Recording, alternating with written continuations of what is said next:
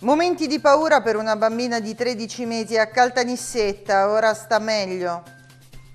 Sanità incontro alla presenza del prefetto. Furto notturno in corso Vittorio Emanuele. Donna ricoverata ladrinazione. Piscina comunale il punto sulla situazione. Bentrovati, apriamo questa edizione del telegiornale con una notizia dell'ultima ora, il servizio. Caltanissette, intervento preventivo dei Vigili del Fuoco e della Polizia Municipale su Ponte San Michele a poche decine di metri dalla chiesa omonima del Santo Patrono della città. È stato necessario chiudere il traffico da via Fragerratana verso via Catania e da via Salemi verso Piazza della Repubblica per consentire la verifica dello stato del ponte che si trova in uno dei punti di snodo del traffico veicolare cittadino. A destare particolare attenzione uno dei giunti del ponte. Già da poco prima delle 18 i mezzi articolati degli uomini dei vigili del fuoco e gli uomini stessi hanno raggiunto il ponte per intervenire e svolgere le opportune verifiche del caso. Momenti di paura per una bimba di 13 mesi trasportata da Caltanissetta a Palermo dopo una crisi respiratoria. Ora sta meglio. Sono stati momenti di paura quelli vissuti dai familiari di una bimba di 13 mesi di Caltanissetta. Fortunatamente, dopo lo spavento iniziale, le condizioni della bambina sono in miglioramento. La piccola era stata trasferita in gravi condizioni all'ospedale pediatrico di Cristina di Palermo nel primo pomeriggio di sabato, dopo un primo soccorso all'ospedale Sant'Elia, dove era arrivata in preda a delle convulsioni e a una crisi respiratoria. I medici di guardia si sono accorti subito delle gravi condizioni della bambina, così hanno chiesto l'intervento dei rianimatori che l'hanno subito intubata. Successivamente è stata trasportata in ambulanza all'ospedale di Cristina di Palermo. L'elicottero, infatti, a causa delle condizioni climatiche avverse, non ha potuto alzarsi in volo. La bimba, inoltre, sottoposta al tampone Covid, è risultata negativa. In realtà la bambina di soli 13 mesi ha inalato cibo nei polmoni e questa la causa delle convulsioni e della conseguente crisi respiratoria. Per fortuna le condizioni della bambina sono in miglioramento, infatti si è risvegliata e domani dovrebbe uscire dalla terapia intensiva per continuare la degenza nel reparto di pediatria dell'ospedale di Cristina. Sanità Nissena, un incontro alla presenza del prefetto Chiara Armenia. Continua l'attenzione delle istituzioni di Caltanissetta nei confronti della sanità nissena.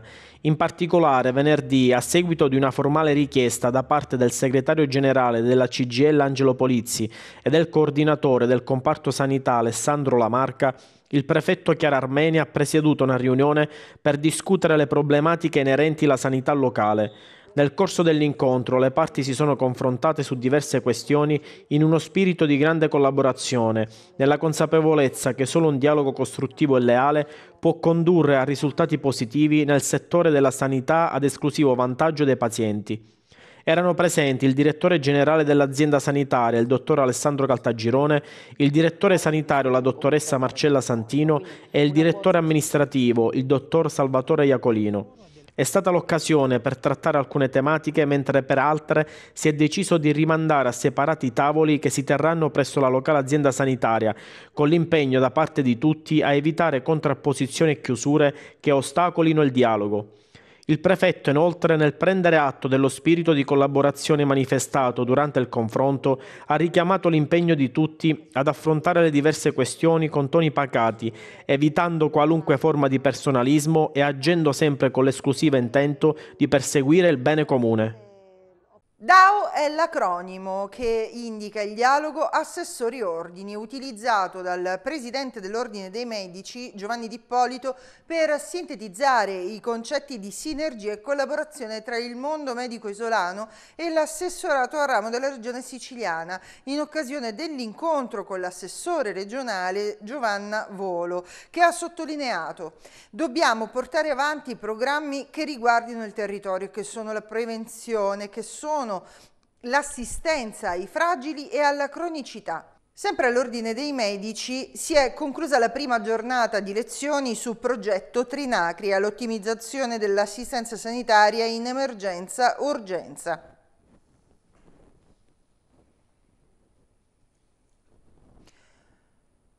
Furto notturno in corso Vittorio Emanuele all'interno di un negozio, portati via il registratore di cassa e alcuni snack, il servizio. Nella tarda notte di venerdì è avvenuto un furto in corso Vittorio Emanuele ai danni di un mini market di proprietà di un nigeriano. I malviventi hanno spaccato la vetrata del negozio portandosi via il registratore di cassa con circa 200 euro e alcuni prodotti. Ad accorgersi dell'accaduto vedendo il vetro in frantumi è stata una guardia giurata che prestava servizio in centro storico. Sul posto è intervenuta una pattuglia delle volanti e successivamente la polizia scientifica per i rilievi. Adesso sono in corso le indagini per risalire agli autori del furto. Mentre una donna era ricoverata al Santeria, i ladri sono entrati in azione nella sua casa in via Signorino. Hanno portato via un televisore ed altri oggetti. Tempestivo l'intervento della Polizia di Stato. Furto in un appartamento di via Signorino nel centro storico di Caltanissetta. I malviventi sono entrati in casa di una donna anziana che da alcuni giorni era stata ricoverata in ospedale, che a causa di alcune complicazioni era deceduta. I vicini, vedendo la porta della signora aperta, hanno avvertito la polizia. I malviventi hanno portato con sé il televisore e alcuni piccoli elettrodomestici e sicuramente, sapendo del ricovero della signora, hanno potuto agire indisturbati. Il Consiglio Comunale di Caltanissetta tornerà a riunirsi il 14 e il 20 dicembre alle 17 a Palazzo del Carmine, convocato dal Presidente Giovanni Magri. Diversi punti all'ordine del giorno, oltre ai riconoscimenti di debiti fuori bilancio, l'approvazione del regolamento sulla partecipazione civica e la mozione che riguarda gli aiuti economici straordinari per sostenere famiglie e commercianti a fronte del caro bollette. Parliamo adesso della piscina comunale, il punto della situazione mentre la città attende la riapertura dell'impianto sportivo in via Rochester. È l'ISPED, l'Istituto per i disturbi pervasivi dello sviluppo, che da anni porta avanti le istanze di buona parte delle famiglie che si confronta quotidianamente con l'autismo a Caltanissetta, che nei giorni scorsi, attraverso un comunicato diffuso dal presidente Maria Grazia Pignataro, aveva lanciato l'allarme sulla piscina comunale per l'uso anche da parte dei giovani adulti e adulte con grandi e gravi, gravissime disabilità. Preoccupazione che nasceva dalla proposta progettuale da parte della ditta appaltante, che sta intervenendo sulla struttura, di abbassare la profondità della vasca ad 1,40 m in modo omogeneo. Questo, segnalava nella nota l'ISPED, ha destato preoccupazione per l'utilizzo della piscina per i figli e le figlie degli associati che ormai adulti e adulte, avendo acquisito un'ottima acquaticità, avrebbero visto ridurre ad una passeggiata, sottolinea Pignataro, non ravvisando alcuna motivazione nel nuotare in una piscina dove potevano rimanere tranquillamente in piedi per tutta la lunghezza del percorso. Dopo queste dichiarazioni c'è stato l'incontro incontro con gli assessori dell'amministrazione Gambino, Caracausi per lo sport e per le politiche sociali Andaloro, che congiuntamente hanno comunicato di essere d'accordo con l'ISPED dichiarando che nei prossimi incontri con i referenti della ditta appaltante avrebbero chiesto chiarezza al di là di ogni legittima pretesa per soluzioni che mirassero a favorire il risparmio energetico e che andassero incontro alle aspettative dei cittadini garantendo i bisogni di tutti, in particolare delle persone più fragili. I due assessori nella dichiarazione congiunta hanno inoltre ribadito che la proposta di livellare tutta la vasca comunale a 1,40 m sarà rigettata pensando piuttosto ad altre soluzioni più idonee come il mantenimento della profondità ad 1,80 m per buona parte della lunghezza delle corsie. Dal canto suo anche RT Caltanissetta Sportiva attraverso una nota diffusa da Fabio Amato ha comunicato che lo scorso 30 novembre alla presenza dell'assessore allo sport Caracausi e del dirigente dell'area tecnica l'ingegnere Tomasel si è svolto il sopralluogo dell'impianto in via Rochester per valutare meglio le ipotesi di modifica delle strutture attuali nella vasca grande con l'aiuto di un tecnico esperto di impiantistica natatoria già accreditato dalla FIN, ovvero dalla Federazione Italiana Nuoto, anch'egli presente oltre a possibili interventi mirati ad ottimizzare la resa termica e la compatibilità delle modifiche proposte con le norme stabilite dalla Federazione per lo svolgimento delle attività natatorie federali contemplate e con le manifestazioni manifestazioni sportive comprese le gare ufficiali in quella sede. Si è stabilito, prosegue la nota, in un supplemento di indagine interpellando direttamente con la FIN con cui, dicono ancora nella nota, si confronteranno per evitare che le proposte di riduzione di volume della vasca debbano poi risolversi in una minore offerta sportiva. Conclude poi dicendo che le risultanze delle interlocuzioni con la FIN saranno tempestivamente condivise con l'amministrazione comunale e diffuse con i mezzi più idonei. Caro Bollette, l'assessore regionale Tamaio annuncia 250 milioni per le imprese siciliane pronti a erogare il bonus energia, il servizio. Il sostegno al settore industriale siciliano continua a essere la stella polare dell'azione politica del governo regionale guidato da Renato Schifani e l'assessore alle attività produttive Edi Tamaio a confermare la vicinanza dell'esecutivo regionale a tutto il comparto produttivo siciliano. La Giunta regionale infatti ha approvato il provvedimento che destinerà complessivamente 365,7 milioni di euro alle imprese dell'isola per contrastare l'aumento dei costi dell'energia. Aiuteremo le imprese siciliane, dice Tamaio, ad affrontare vertiginosi rincari dei costi dell'energia causati dalla crisi internazionale, aumenti che stanno mettendo a rischio la sopravvivenza di molte aziende. Ci siamo attivati per erogare al più presto il bonus energia, grazie ai 250 milioni che il governo Schifani ha affidato al Dipartimento delle attività produttive per aiutare gli imprenditori della nostra Sicilia a fronteggiare il caro bollette. Siamo al lavoro, conclude, sugli avvisi da rendere pubblici nei prossimi giorni e dare così respiro alle realtà aziendali nei vari comparti produttivi e alle tante famiglie che vi ruotano attorno. I fondi destinati all'assessorato di Via degli Emiri costituiscono la parte più cospicua dello stanziamento totale approvato dal governo regionale. Il Dipartimento diretto da Carmelo Frittitta ha già definito i criteri per la concessione degli aiuti. Il contributo verrà erogato in percentuale al 30% solo aumento rispetto alle tariffe del 2021 del costo di gas e luce registrato tra il 1 febbraio 2022 e la data dell'ultima fattura di fornitura disponibile. L'importo massimo del beneficio concedibile a ogni singola azienda è di 20.000 euro.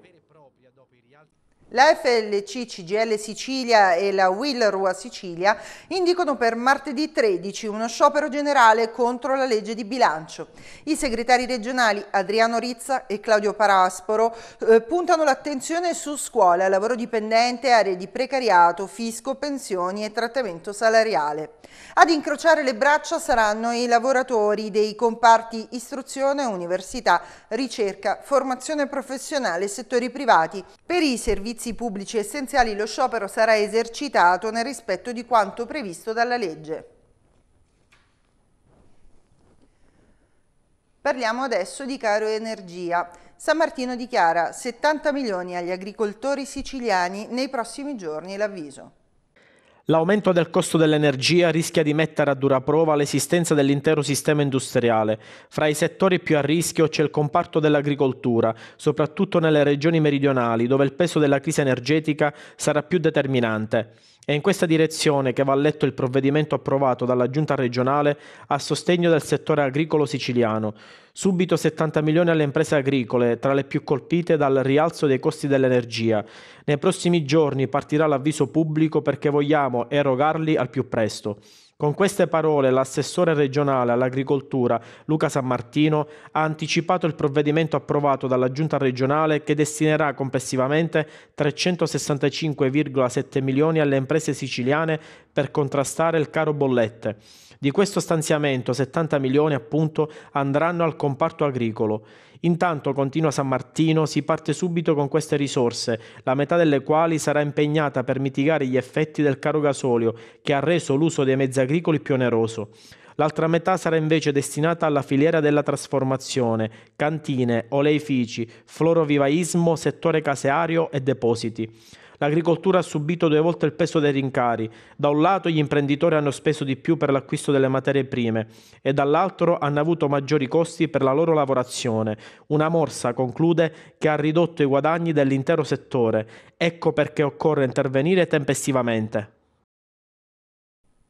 La Polizia Stradale di Caltanissetta ha concluso il quarto ciclo di incontri con diverse classi delle scuole superiori di Caltanissetta e San Cataldo. Sui temi della sicurezza stradale, evidenziata la pericolosità di certe condotte come l'utilizzo di alcol e droghe che mettono a rischio la propria e altrui incolumità ed esprimono forte debolezza ed incapacità di comunicare la propria forza e il proprio valore, così si legge su un post all'interno della pagina social della della Questura di Caltanissetta ha approfondito l'aspetto dello sviluppo di una maggiore consapevolezza rispetto al proprio agire, ragionando sulla responsabilità delle conseguenze che scaturiscono dall'adozione di un comportamento. Parliamo adesso di trasporti. Dichiara l'assessore regionale delle infrastrutture e della mobilità Alessandro Arico, otto nuovi treni in Sicilia. Continua il piano di ammodernamento del trasporto ferroviario in Sicilia. In quest'ottica la regione siciliana ha finora rispettato i tempi previsti dal cronoprogramma del piano di investimento in materiale rotabile aggiornato al 2026, con la dotazione di 42 nuovi treni regionali che saranno tutti in circolazione entro il primo semestre 2023. Un ulteriore passo avanti verso il potenziamento dell'offerta qualitativa e quantitativa di trasporto ferroviario in Sicilia, in linea con gli obiettivi strategici di completamento dell'anello ferroviario dell'isola e della velocizzazione della tratta Palermo-Catania. Sono parole dell'assessore regionale delle infrastrutture e della mobilità Alessandro Aricò, che ha commentato la decisione del Consiglio di amministrazione di Trenitalia, grazie alla quale nei prossimi tre anni arriveranno sull'isola altri otto treni di seconda generazione, portando così la flotta a un totale di 50 nuovi convogli. Si tratta di treni elettrici bidirezionali di nuova concezione, dotati in media di 300 posti a sedere, distribuiti in quattro carrozze, per una capienza di 530 persone nel rispetto delle restrizioni imposte dalle nuove normative sanitarie. I modelli pop offrono migliori performance in termini di comfort e accessibilità, raggiungono i 160 km all'ora, sono dotati di un sistema di telediagnostica e uno di telecamere interne che migliorano la sicurezza e dispongono di posti pensati specificamente per i disabili e per facilitare il transito delle persone a mobilità ridotta. Inoltre sono composti fino al 97% di materiali riciclabili e riducono il consumo energetico del 30% rispetto alla generazione di treni precedente, caratteristiche che li rendono adeguati a prestare servizio nel contesto della transizione ecologica. Le strutture e le caratteristiche delle casse in alluminio, infine, contribuiscono a migliorare l'isolamento termico, pertanto i tempi di raffreddamento durante la stagione estiva e di riscaldamento durante quella invernale sono stati ulteriormente ridotti. Torniamo a parlare di Caltanissetta, la festa di Santa Barbara nel segno della tradizione. Un quartiere vestito a festa è vicino alla sua Santa Barbara, protettrice dei vigili del fuoco e dei minatori. La festa di Santa Barbara ha da sempre rappresentato una festa molto sentita dai residenti del villaggio e caratterizzata dalla grande partecipazione che con grande devozione prendono parte al culto religioso. La festa inizia la sera prima con la benedizione del fuoco in piazza Sabucina al termine della celebrazione eucaristica. Il giorno della festa, dopo la messa mattutina, nel pomeriggio si svolge la processione per le vie del quartiere, dove i devoti al grido di Viva Santa Barbara rendono omaggio alla loro santa. Santa Barbara è legato al mondo dei minatori, infatti Santa Barbara, il villaggio nasce proprio in seguito all'apertura delle miniere e per tanti anni è stato abitato da minatori che eh, andavano a lavorare nelle miniere vicine. Con la chiusura poi di questi luoghi comunque la tradizione della festa è rimasta grazie agli ex minatori, grazie al Comitato Pro Festeggiamenti che è custode di questa tradizione ed è la parrocchia che se ne fa garante. Ogni anno eh, c'è un clima di festa nei giorni precedenti perché celebriamo sempre il triduo in onore della Santa, poi il sabato sera la tradizionale eh, vampa o il tradizionale falò con la benedizione del fuoco e poi il giorno clou diventa sempre il 4 dicembre che vede la presenza di tanti fedeli che anche da altri quartieri della città eh, scendono qui a Santa Barbara per onorare la nostra santa patrona.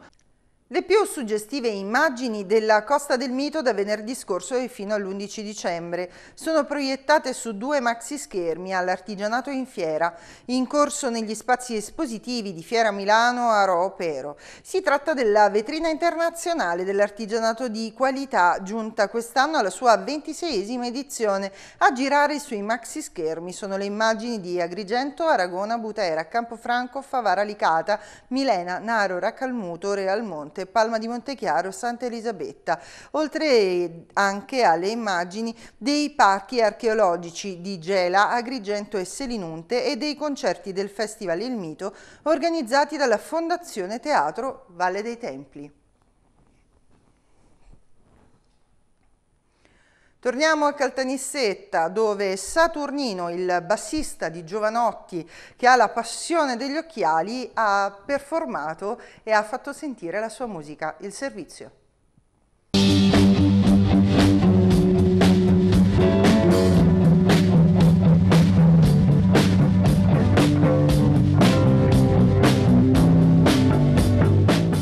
Saturnino Gelani, per tutti Saturnino, è senza ombra di dubbio uno dei bassisti italiani più famosi in assoluto. Nella sua carriera si è dedicato anche alla composizione ed è anche un produttore discografico. La sua passione per la musica è davvero trasversale e tocca tantissimi generi che vanno dal rock al jazz fino al funk.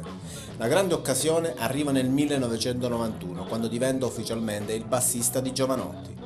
Saturnino lo conosce in uno studio a Milano e diventerà la sua spalla destra non solo sul palco ma anche nella delicata fase della composizione. Tantissimi successi giovanotti infatti sono passati dalle sue mani, da ragazzo fortunato a il più grande spettacolo dopo il Big Bang. Il bassista ha una passione per gli occhiali, motivo per cui è stato venerdì pomeriggio a Caltanissetta. Io ogni mattina mi sveglio e, e ringrazio eh, la vita no? in generale perché alla fine non faccio altro che coltivare le mie passioni e le faccio in, in modo remunerativo, che questa è una magia perché alla fine suonare e, e riuscire a sopravvivere con quello che fai e, e fare occhiali funziona anche questo, quindi non posso che essere felice. Abbiamo visto che hai prodotto anche due film, sì, diciamo anche Jolly Blue, in futuro farei altri film. Ma sai, quello de- dell'aspetto cinematografico a me affascina tantissimo. Io eh, vivo di film a casa, al cinema. E Guarda, qualche sera fa sono stato a vedere il concerto di Max Pezzali e al forum e mi si è riaperto un file della memoria perché la, il potere evocativo della musica ti riporta a quello e, sono tornato esattamente al momento di Jolly Blue in cui interpretavo eh, eh, Lorenzo faceva Claudio Cecchetto e io facevo Pierpaolo Peroni, pensate che è roba incredibile, 30 anni fa è successa questa cosa. E per il futuro ci aspetta altra musica per Saturnino? Ma la musica io vivrei ascoltandola, pensate, quindi neanche suonandola io direttamente. Già mi basta quella che è già stata fatta, però perché no, se dovesse succedere io sono sempre pronto, sia a farla da solo che a farla con altri, che è la cosa che amo di più. Grande tifoso del Milan, per cui ha inciso insieme ad Emi Schilla Lino Rossoneri. Ma lo sai che è, è, è stato il, il, mio pezzo più ascoltato quest'anno su Spotify? Ha un motivo? Ma, eh beh sì, perché la stagione è andata benissimo, quindi pensa te, quello è un pezzo che ha iniziato a funzionare sei anni dopo perché eh, è, comunque direttamente collegato all'andamento della squadra, quindi se la squadra va bene e tutto il resto va bene. È un piacere questa sera stare accanto ad uno dei più grandi bassisti che abbiamo sicuramente al mondo, è Saturnino, il batterista di Giovanotti, l'artefice di tantissimi brani scritti da lui come il ragazzo fortunato e siamo davvero emozionati. Averlo ospite a Caltanissetta è, è qualcosa di incredibile perché comunque gira sempre in tour con Giovanotti e difficilmente eh, si sposta da solo. Per cui viva Saturnino, viva la musica.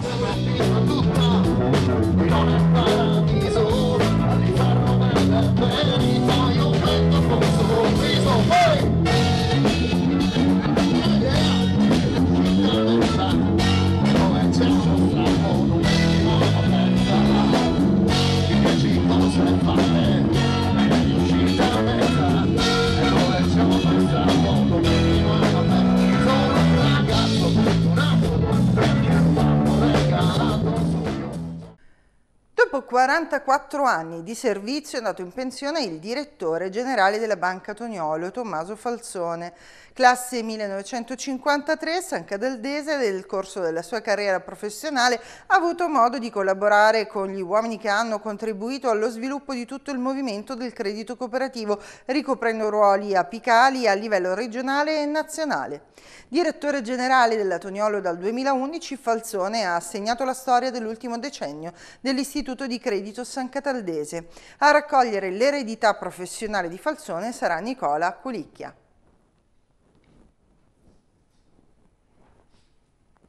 Parliamo adesso di tennis, torneo vintage a Caltanissetta in stile anni 60.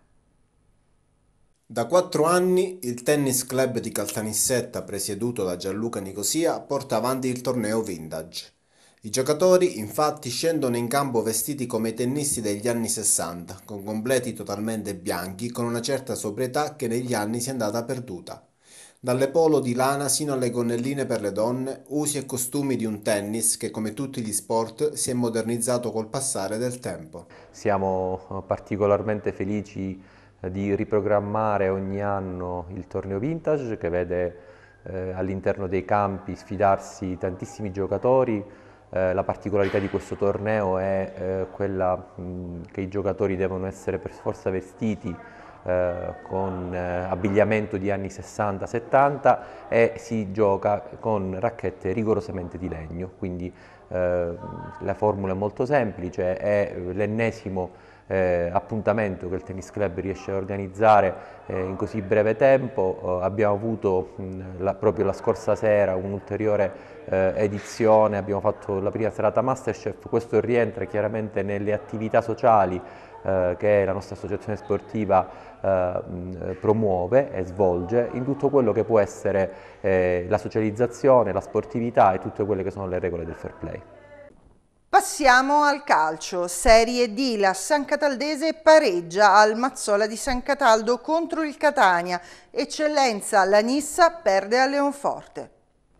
Calcio Serie D San Cataldese Catania finisce 1-1 al termine di una partita caratterizzata da eccessivo nervosismo. Verde Amaranto in vantaggio all'ottavo del primo tempo con Zerbo, pari di somma al quindicesimo. Nella ripresa sostanziale equilibrio.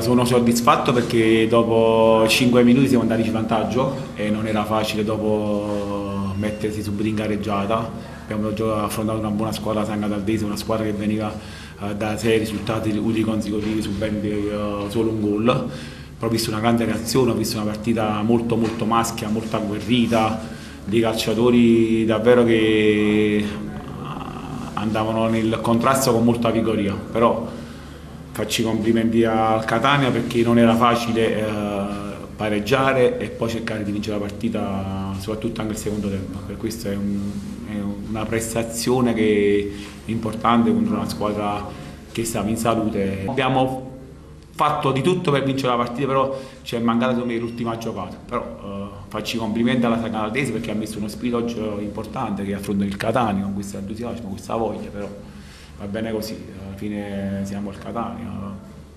Un derby che abbiamo fatto un pareggio e adesso pensiamo a martedì la prossima gara. Noi ci chiamiamo il Catania, però oggi è stato un punto importante nel senso di, per la partita. Se, se, guardiamo il valore del Catania, del Cataldese, no, però nella, nella, prestazione, per come hanno giocato, per come hanno fatto, hanno fatto una partita di grande intensità. Per questo sono contento perché si può pure perdere una partita così, non è, non, è, non è una cosa facile, sicuramente.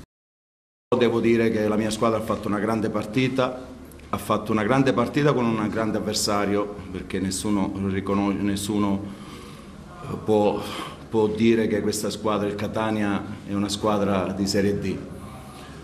Però oggi i miei ragazzi ancora una volta hanno dimostrato che vogliono essere protagonisti, non si sentono inferiori a nessuno, sappiamo le nostre armi, per questo magari possiamo dare fastidio o sembrare, sembrare eh, un gioco un po' più duro, grintoso, ma noi ci dobbiamo salvare, l'ho detto sabato, noi dobbiamo vincere il nostro campionato, non possiamo mettere le armi che è al Catania, noi dobbiamo mettere le nostre, quello di, di essere compatti, di essere aggressivi, di essere eh, grintosi. I risultati della quattordicesima giornata. Castrovillari Ragusa 0-0, Acireale Mariglianese 2-1.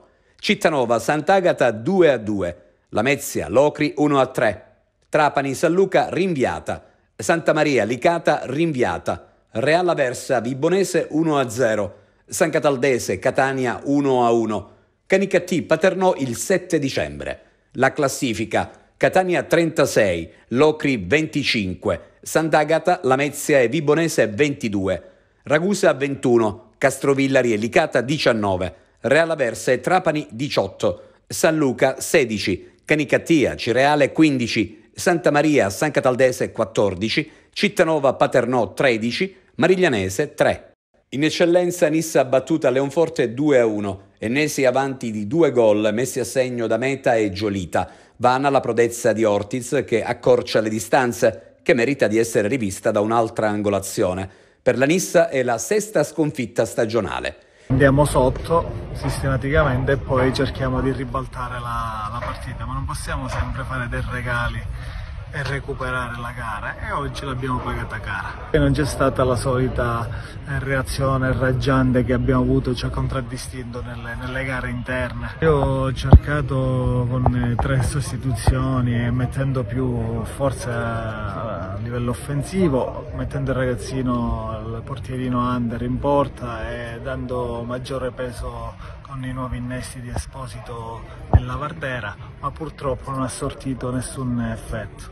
C'è da, da lavorare, c'è da um, far quadrare i conti, capire dove sbagliamo, ma ho individuato eh, che il problema primario è la testa. Quindi domenica siamo al, al, Tomaselli, sarà la prima diciamo, in casa al Tomaselli, incontreremo eh, un buon Mazzara, ma noi a prescindere da chi viene in casa rispetteremo tutti gli avversari ma cercheremo di fare il nostro, il nostro bottino perché in casa non possiamo perdere punti. I risultati della tredicesima giornata.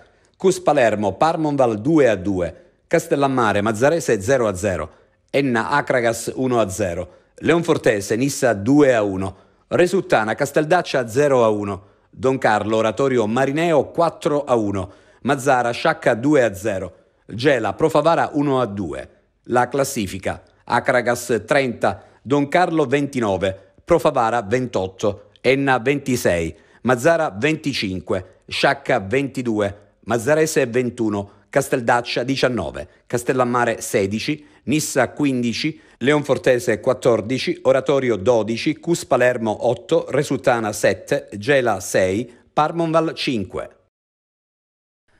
Volley B2 femminile, Albaverde Caltanissetta vittoriosa anche a Catania contro la Volley. Le nissene sono al primo posto. Ancora una vittoria, con il massimo scarto, ancora tre punti, questa volta esaltanti, che dimostrano come l'Alba Verde non soffra di vertigini. Il risultato, altro 3-0 finale, è stato impietoso, anche se non testimonia fino in fondo la durezza della gara, ma la sostanza è quella di un'Alba Verde che esce vittoriosa con il massimo scarto dallo scontro contro la Funivia Etna, dopo una battaglia senza esclusione di colpi in una gara a tratti bella ma sempre vibrante. In una gara non perfetta, l'Alba Verde ha conquistato il massimo risultato possibile grazie a una grande volontà e spirito di gruppo. Sabato 10 dicembre l'Alba Verde se la vedrà al Pala Cannizzaro contro la Saracena.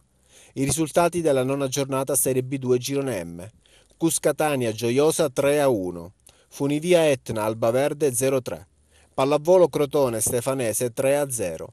Zafferana Fidelis Torretta 3 a 0. Saracena Brico City Volley 3 a 0. Procori Ricina Planet 3-0, Volley Region Ardens Comiso 3-2. La classifica. Albaverde 25 punti, Zafferana 24, Pallavolo Crotone 23, Procori Ricina e Cuscatania 18, Gioiosa 17, Funivia Etna 16, Fidelis Torretta 14, Saracena 12, Volley Region 9, Ardens Comiso 6, Brico City Volley Stefanese 3 punti chiude la Planet a un punto. Basket Serie D, invicta inarrestabile, Nisseni primi con 4 punti di vantaggio. Nel campionato di basket di Serie D, la capolista invicta batte con merito 94 a 69 il capo SD e crea un solco di 4 punti sulle tre seconde, Capo, Sant'Agata e Cefalù, restando in vetta in classifica imbattuta con 10 punti in 5 gare.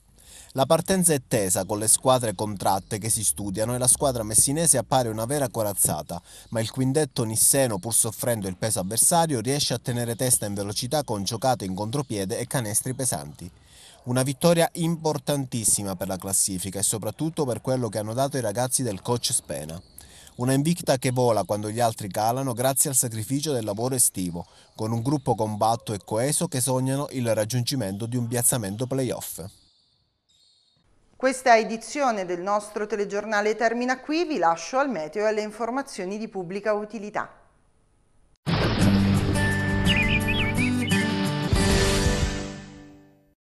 Amici Trevi Meteo, bentornati a questo aggiornamento delle nostre previsioni per la giornata di martedì che vedrà ancora un flusso di correnti umide occidentali interessare parte dell'Italia, soprattutto le regioni centrali dove insisteranno appunto un po' più di nuvole. Nel resto del paese giornata discreta, non mancheranno anche delle belle schiarite. Attenzione però al ritorno di nebbie e foschie in pianura padana. Vediamo intanto la nuvolosità prevista sull'Italia e appunto non mancheranno anche delle aperture in giornata, però qualche nuvola insisterà nell'Italia centrale qualche velatura passerà al sud. Però nel complesso, ripeto, giornata in molte zone che ci regalerà anche delle belle aperture. Come precipitazioni vi segnalo solo qualche goccia di pioggia, comunque piogge non particolarmente insistenti su Toscana, Umbria, Marche e Romagna, quindi parte dell'Italia centrale. Per il resto dovremo cavarcela abbastanza bene. Quindi in definitiva ci attende un martedì che ci regalerà anche delle belle aperture. Attenzione però intanto a nebbie e foschie di notte e al mattino in pianura padana e poi appunto un po' di variabilità nell'Italia centrale con qualche acquazzone su Toscana, Umbria, Marche e Romagna. Al sud, come vi anticipavo, qualche velatura di passaggio ma senza conseguenze. Per tutta l'Italia e comunque sulle vostre località, anche per il Ponte dell'Immacolata, consultate l'app gratuita di Trebi Meteo. Servizi di pubblica utilità. Farmacie di turno, Caltanissetta, Servizio diurno, Eufrate, Viale Stefano Candura. Servizio notturno, Messana, Viale Conte Testa Secca.